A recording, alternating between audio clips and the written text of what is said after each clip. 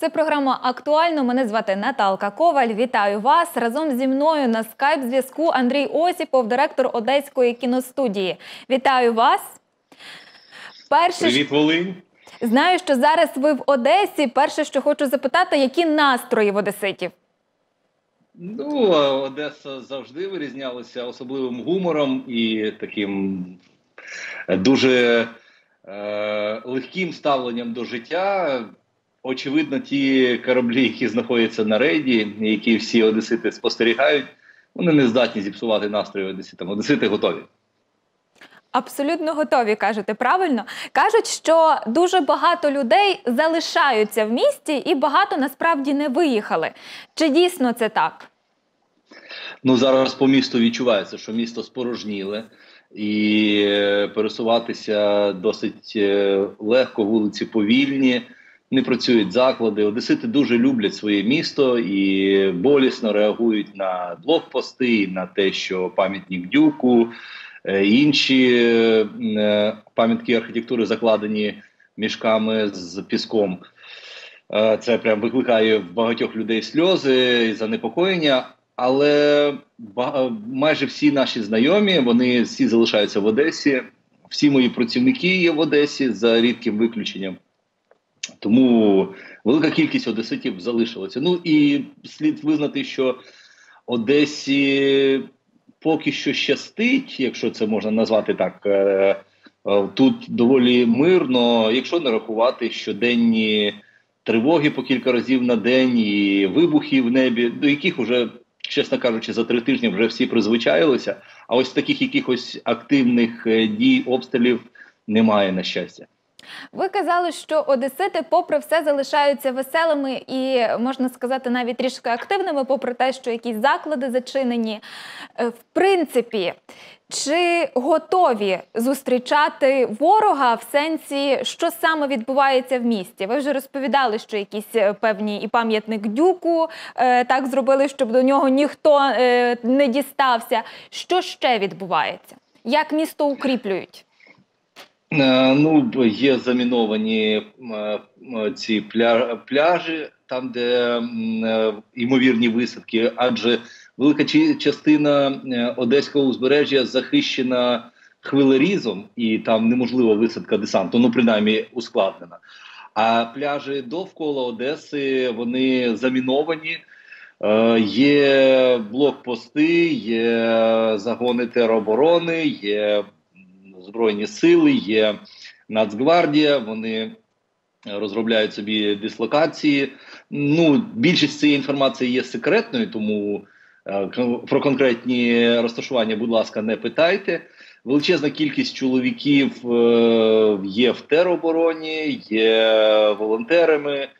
Ну, всі роблять кожен, що кожен намагається бути корисним на своєму місці.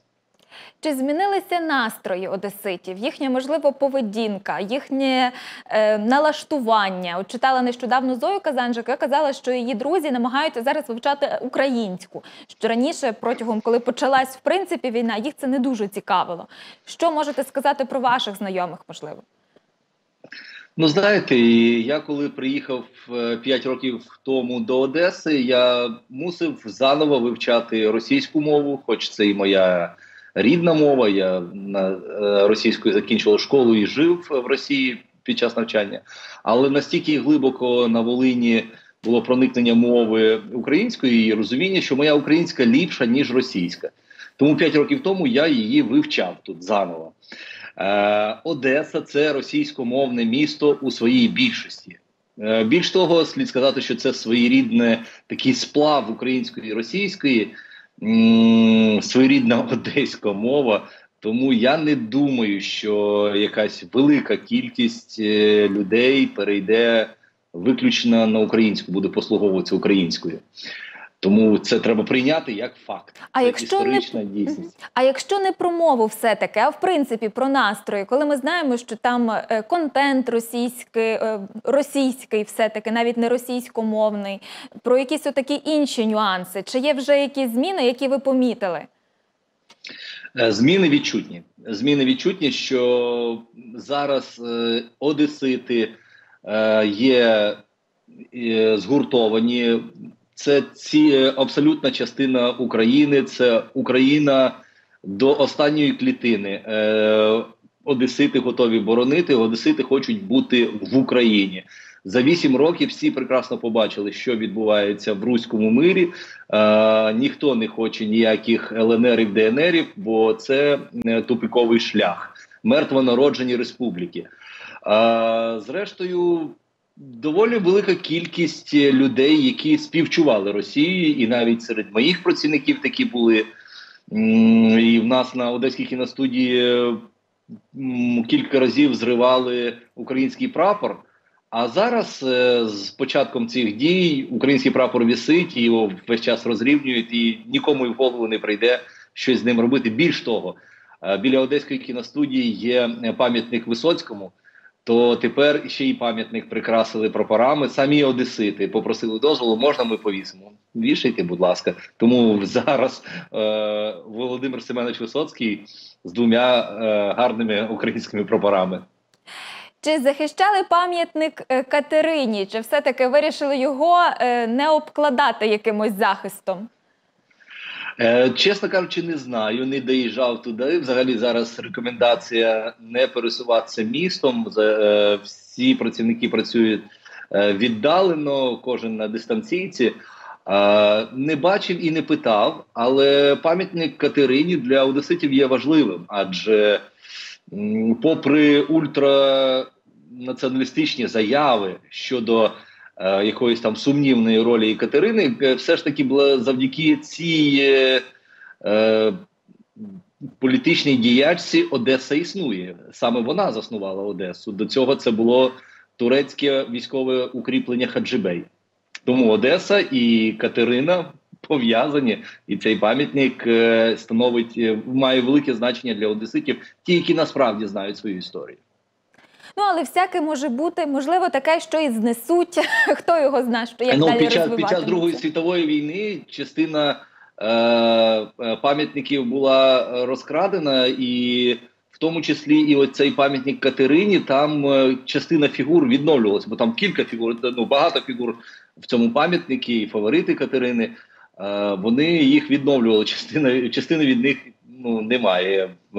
Під час Другої світової війни німці знищили. Тому сподіваюся, що всі пам'ятки архітектури всі будуть збережені. Дай Боже. Якщо говорити в принципі про одеську кіностудію, як вона нині працює? Розкажіть детальніше про це. Е, Одеська кіностудія законсервована. Всі важливі матеріали е, сховані і е, ну якби збережені на віддалених дисках. Проте створена система, спеціальна резервна система роботи. Наші працівники продовжують працювати з матеріалами, з базою е, фільмів Одеської кіностудії, ну і інші е, відео, фотоматеріали. Е, особі, особові справи зберігаються в надійному місці. Працівникам всім видані трудові книжки під розпис на руки. Е, ми намагаємося, так як і раніше, двічі на місяць сплатити заробітну плату. І сьогодні, ось ми сплатили е, зарплату е, людям, бо незалежно від того, що б там не відбувалося, то люди не мають від цього страждати. Ми намагаємося налагодити свою роботу. Скажу так, що на території зараз залишаються лише технічні служби, які працюють по скороченому графіку, забезпечують роботу водогону, е, електрики, каналізації. На нашій будівлі розташована сигнальна сирена. Це також наші працівники обслуговують її. Е, ну а всі інші сидять по домівках і працюють в міру сил. Зокрема, і намагаємося зараз е, опанувати, створити власний контент, такий, щоб для інформаційної боротьби проти російської навали. Чи може бути, е, можливо, документуєте і згодом з того, що е, знімають оператори, вийти якийсь фільм? Е, як це відбувається? Можливо, чи не було у вас такої ідеї? Ну, знаєте, зараз ми співпрацюємо з командою 1 плюс 1, і У нас є спільні проекти, і в рамках цього є документування. Такого власне телевізійного документування немає.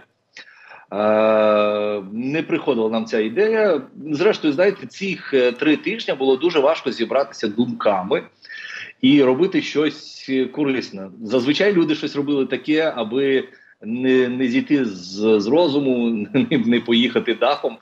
Просто займались чим-небудь, аби якось бути корисними. Знаєте, Зараз е, очевидно ваша ідея. Дякую за ідею. Спробуємо. Знаєте, я вас питала, як змінилися самі е, одесити, можливо, і про мову, і про настрої. От ви сказали, що однозначно Одеса Україна, ніхто в тому не сумнівається. Але так. кілька місяців тому я заходила на сторінку Одеської кіностудії, і там вітали з днем народження якогось е, радянського актора. Знову ж таки, було якесь коротеньке, можливо, інтерв'ю, де казали, от класні, колись там фільми знімали за радянського союзу. І я би хотіла з вами про це поговорити. Можливо, після того, що відбувається нині, е, подібних чи привітань, чи от якогось такого, от ніби. Суму, якби якби так можна сказати, за тим, що було раніше, не буде, і чи в принципі ви вбачаєте в тому всьому якийсь такий чи подібний до того, про який я говорю, наратив? Знаєте, я вам хочу сказати, що не можна ставити знак рівняння е, між е, владою і країною. Це небезпечно. Культура завжди залишається останнім містком у відносинах е, народів, держав і так далі. Для нас, як для підприємства, одна з найстаріших кіностудій світу, Одеська кіностудія існувала до радянського союзу за радянської доби. Е, в незалежній Україні, тому все це історія, і ми намагаємося берегти все, що можливо для нас дійсно е, постаті і Висоцького, і е, ну там Тодоровського і інших великих людей. Це частина історії невід'ємна. Ми не можемо відмовитися від цього. І більш того, мені не була зрозуміла позиція, коли заборонили до показу фільм Д'Артанян і три мушкетери лише через е, ідіотську по суті позицію Боярського, який підтримав е, окупацію Криму. Е, знаєте, це як ніби засудження заднім числом. Тобто він в 79-му році знімався в фільмі. А цей фільм заборонили, бо в 2014 році він підписав якийсь лист. Ну, напевно, це більше істерична така дія. Вона нічого спільного з захистом е, українських інтересів не має. Ми хочемо зробити так, щоб всі, весь це весь це насліддя воно збереглося. Це великі фільми е, великих митців і під дією політичних процесів ми не повинні забувати. Звісно, є питання активних бойових дій, є питання е, пропаганди, запобігання впливу інформаційного інформаційного впливу ворога і так далі. Але жоден з фільмів Одеської кіностудії нічого подібного до цього не має. Якщо Тому зараз... Е, будемо, ну якщо буде нагода, будемо вітати. Звісно, за виключенням якихось відверто вже проросійських і пропутінських. Тому так. Просто дуже часто Е, люди, які не виступають відкрито навіть з культурних діячів, що от Путін робить правильно, вони своєю байдужістю, так би мовити, так само підтримують режимі те, що відбувається, і все-таки 71% росіян абсолютно згодні зі своїм, можна сказати, диктатором і з тим, що він робить в Україні. Тому власне таке. І ще про культуру. Е, нещодавно е, акторки Волинського драмтеатру спілкувалися зі своїми колегами з Росії і розповідали про те, що от в них зараз є завдання, спецзавдання е, створювати спеціальні вистави, знімати спеціальні фільми е, про те, як е, все добре ми робимо, е, як які ми класні були під час вітчизняної так званої війни. І що найцікавіше, з московського театру після такого е, прохання абсолютно жоден актор не звільнився. І от все-таки тут. Можливо, б цікаво з вами поспілкуватися, подискутувати про цю межу е, культурного де вона дозволена, а де ні. І знову ж таки, на продовження питання я бачила, що ви нещодавно на своїй сторінці запостили інтерв'ю Дудя з Акуніним, якщо я не помиляюся. Е, Знову ж таки, е, чи потрібно нам відмовлятися від усього російського контенту, чи все-таки не обов'язково це робити? Ваш погляд на ситуацію? Добре, дуже гарне запитання, класне, і очевидно, в розмовах про це можна провести не одну годину, але скажу так: моя позиція. Тому е, я знаю, що на Волині і в Україні зараз багато гарячих голів. Тому сподіваюся, що ніхто нам мене не збереться е, забанювати і так далі. Хочу сказати так: позиція ізоляціонізму це позиція обмежений, обмежених людей. Е, повністю е, закрившись у своєму власному просторі, ризикуєш не побачити чогось важливого е, на тій стороні. З, так, таке давнє прислів'я, що з брудною водою вилили дитину. Тому все ж таки в брудній воді варто пошукати дитину. Взагалі, е, людське мислення ну особливо творчих людей, має вирізнятися тим, що про людей треба передусім думати добре, бо погану свою сутність вони згодом проявлять. Ще один мудрець сказав, що ми не так будемо пам'ятати слова ворогів, як мовчання друзів. Багато друзів наших працюють у російському кінематографі і в російській культурі. Їх мовчання для нас це гарний показник того, ким вони є насправді. Е, В цій ситуації, коли обстріли мирних районів і лікарень, і пологових будинків, мовчати це все рівно, що схвалювати дії ворогу. Тому цьому прощення, звісно, немає. Але поруч з цим е, для цього і це не є приводом для ненависті. Ви маєте розуміти, що ми, українці, ніколи не жили під такою пропагандою, під якою живуть зараз росіяни. Частина з них є е, такими задуреними, е, байдужими, і які справді вважають, що їм по телевізору говорять правду.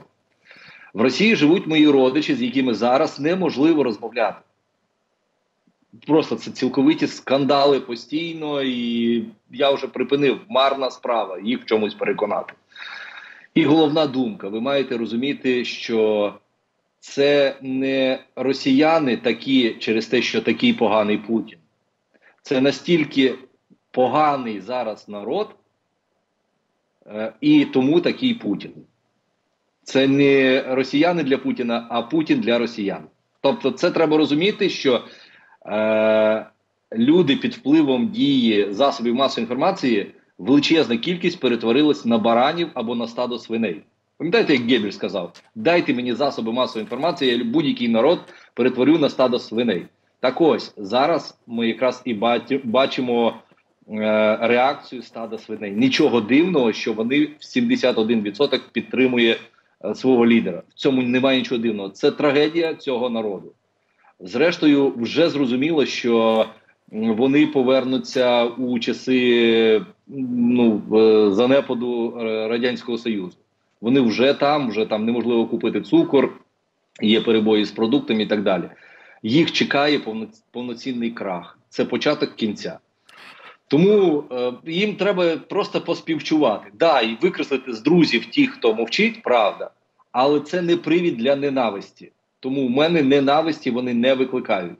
Як можуть викликати ненависть люди, які е, задурені пропагандою? Вони, можливо, до кінця дня не, не оговтуються від того. Можливо, доведеться пережити кілька поколінь, поки ми повернемося до нормального спілкування. Але, на жаль, так. Це треба усвідомлювати і всередині самого себе не вважати себе святішим за папу римського і бігом когось засуджувати. Засудити легко. Не суди і не судимий буде будеш. Однозначно. Знаєте, зараз читаю е, вільнівський покер, і от е, ті слова, які ви про, про що ви кажете, е, згадала одну з сцену з коли чоловік каже, що ми зійшлися з дружиною, а потім вона почала дивитись телевізор, і дійшло до того, що вона почала підтримувати там і комсомол, і тому подібне. І ми розійшлися. Вона вже колишня дружина. Хочу, ви вже розповідали про те, що є от ваші родичі в Росії які абсолютно е, не розуміють те, що відбувається, чи можливо є ті люди там, які е, усвідомлюють, що насправді відбувається в Україні, чи спілкуєтесь ви з ними, і чи багато таких людей насправді? Е, серед моїх знайомих таких людей чимало. Вдалося в перші дні війни масовані атаки. Фактично, перших п'ять днів зв'язок був доступний і вільний, і люди ще не боялися. І вдалося багато матеріалів і переслати, і поговорити, і поспілкуватися на різні теми, обговорити. Тому мої брати, сестри, ну люди молодшого покоління, е, також мої друзі, е, які з якими я спілкувався по роботі. Вони всі чудово це розуміють, і частина з них вже покинула Росію, працюють за кордоном, намагаються ну призвичаїтися до цих е, нових е, обставин. Е, це такі справжні росіяни, але є багато таких, особливо люди старшого покоління, там 50 плюс, умовно. Хоча це не таке старше, мені через 5 років 50 вже. Очевидно, я теж буду в, в тому віці. Але в, в таких людей там звичайно зашореність. Крім того, е, Росія вона складається не лише з Москви і Санкт-Петербурга. Е, Є ще і регіональні відмінності. Е, Чим далі від столиць, оцих двох чи якихось великих обласних центрів, в такій сільській е, дерев'янській місцевості, там, звичайно, Путіна люблять і схвалюють. Тому, власне, цей 71% це переважно така російська глибинка, де особливо ніхто не аналізує інформацію. Що сказали по телевізору, то і то і правда. Так вони жили е, багато-багато років. Е, крім того, ви ж розумієте, що освічене населення воно прекрасно розуміє, що відбувається, і вміє працювати з інформацією. Але та частина, переважна частина росіян, яка живе, живе в маленьких містечках і займаються простою роботою, їм просто не до того. Для них Україна дуже далеко, дуже далеко. І знаєте, ви сказали про ті, хто живуть чим далі від Москви. Я згадала, як нещодавно був жарт, коли е, жіночку біля барака якогось питають, е, чи вона би знов проголосувала за Путіна. Вона каже: однозначно, в Росії найкраще, а то ті американці бідні. І от дійсно вона стоїть біля такого дерев'яного чогось, що важко назвати взагалі будь-яким житлом, не те, що тим, що вона вважає найкращим. Знаєте, останній раз ми з вами говорили, коли ви були в Луцьку. Е, ви розповідали про те, що е, буде планується фільм зйомки фільму на Волині про з'їзд монархів. На якому етапі була підготовка до початку війни цього фільму, і чи після перемоги робота над ним е, відновиться? Дякую вам за вашу прекрасну пам'ять і за цікавість до цього проекту. Ми провели підготовчий період. Е, Працівники Одеської кіностудії вже провели частину підготовчих зйомок. Наші художники, постановники вже розробили декорації. Ми вже почали шити костюми. І, власне, в нас на кінець е, лютого намічалися п'ять знімальних днів, які ми мали це все відзняти. Власне, це зараз е, такий короткий фільм про ситуацію як, в який був Вітовт у 1429 році. Е, Був затверджений сценарій, були підготовлені всі матеріали. Тобто, те, що ми його не зняли, нам залишалося буквально 3-4 дні до виїзду на майданчик. Е, ну і тут почалися такі дії. Е, роботу хотілося б відновити, бо знаєте, ситуація, в якій був Вітов тоді, вона дуже подібна на ситуацію, яка є зараз. Е, надзвичайна історія. Я вважаю Вітовта одним з найвеличних е, правителів українських. адже він був е, князь Руський, і його земля охоплювала Литву, усю Україну, Білорусь. А в Московії сидів його онук на престолі Василь Темний. Отже, його територія була настільки великою, що може зрівнятися легко з територією, ну, наприклад, ем, Олександра Македонського. Тому про таких людей треба розповідати. І те, що його використовувала Європа для того, щоб створити тут е, таку пограничну військову зону, е, здогадуєтеся, як воно перекликається в часах. Це 30-ті роки 15 століття. Тоді е, під змовою європейських монархів е, Вітовта змусили розмістити тут гарнизони. Крім того, Вітовта змусили воювати за свої гроші. Щоправда, вони тоді воювали проти Туреччини, але мало з тим контекст дуже подібний. Тому сподіваюся, що продовжимо. Сподіваюсь, сподіваюсь. У нас великі плани на виробництво в Волині. Ви, ви ж пам'ятаєте, що е, десь в жовтні, наприкінці жовтня, було офіційно оголошено разом із облдержадміністрацією і з владою міста. Було оголошено, що Одеська кіностудія матиме філію е, свою е, на Волині. Мені б дуже хотілося, щоб ми якнайшвидше знову відновили свою роботу, перейшли до цих планів. Сподіваюся, що саме якнайшвидше це все і відбудеться. Дуже дякую вам, що знайшли час і погодилися вийти разом із нами на скайп-зв'язок. Дякую вам. Нагадаю вам, наші телеглядачі, що хотіла постійно хочу сказати гостем студії, але зараз працюємо в такому скайп-режимі. На скайп-зв'язку разом зі мною був Андрій Осіпов, директор Одеської кіностудії. Дякую вам, що були разом з нами по той бік екрану. Що обов'язково сьогодні побачимось.